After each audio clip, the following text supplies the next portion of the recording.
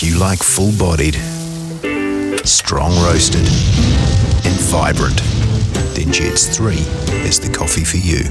Jed's, great coffee made simple.